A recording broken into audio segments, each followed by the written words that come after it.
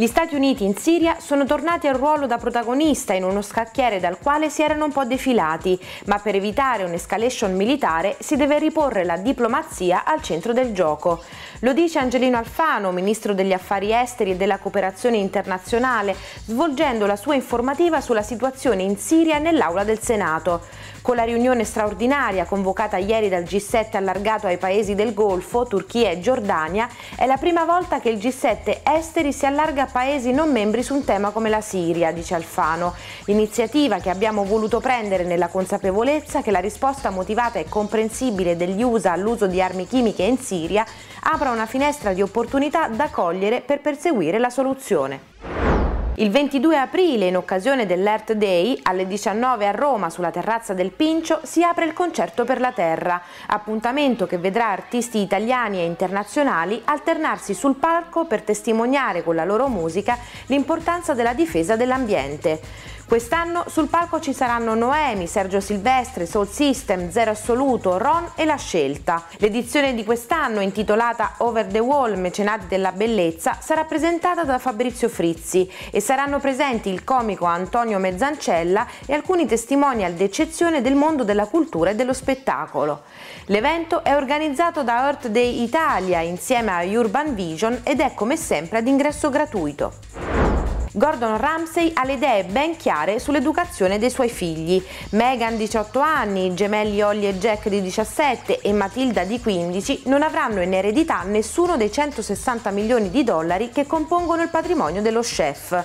Un modo di fare che potrebbe sembrare troppo egoista, ma che non lo è. Non voglio viziarli, ha detto Ramsey. L'unica eccezione, concordata con la moglie Tana, è un 25% di deposito per un appartamento, ma non l'intera cifra. I piccoli Ramsey così devono guadagnarsi da vivere ogni giorno, ottenendo solo piccoli aiuti. Megan fa la babysitter tre volte alla settimana, Holly lavora part-time come commessa, Jack vuole arruolarsi nei Marine e solo Matilda, la più piccola, è autorizzata autorizzata a entrare in cucina. Meghan è all'università e ha un budget settimanale di 100 sterline, gli altri hanno circa 50 sterline a settimana. Devono pagarsi le ricariche dei cellulari e i biglietti dell'autobus perché prima dai loro la responsabilità di risparmiare per comprarsi scarpe o jeans e meglio è. Firenze è arrivata una cabina telefonica particolare, si chiama CityLink ed è stata realizzata da Tim ed Ericsson, è la cabina del futuro, un parallelepipedo di oltre 2 metri di altezza che va ben oltre le semplici chiamate. CityLink ha uno schermo touchscreen con cui è possibile navigare gratuitamente in forma limitata ottenendo informazioni e servizi di pubblica utilità. Si può entrare nel sito del comune di Firenze, avere informazioni sui taxi e sui trasporti pubblici, conoscere in tempo reale gli eventi che si svolgono in città. Le chiamate al contact center del comune o quelle per prenotare un taxi sono gratis. Non solo, è possibile anche usare i social pubblicando in tempo reale messaggi e tweet.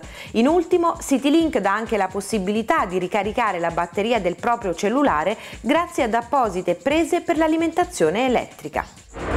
Semplicemente fantastica. La notte che vive la Juventus è direttamente proporzionale alla partita giocata contro Messi Co. Tre gol ed una supremazia che non ammettono repliche, su tutti di Bala, autore di una dirompente doppietta. La terza marcatura è a firma Chiellini, che si riscatta dopo un periodo complicato. La Juve gioca forte, corre, soffre e quando può picchia duro. Mercoledì prossimo il ritorno al Camp Nou. È già scattata la retorica della remontada, la Juve dovrà fidarsi solo di se stessa e giocare da Juventus, perché i catalani useranno tutte le armi a loro disposizione. Allegri però non è Emery e la Juventus non è il Paris Saint-Germain. E questo non è cosa da poco. Primo comandamento, non sentirsi né arrivati tantomeno qualificati.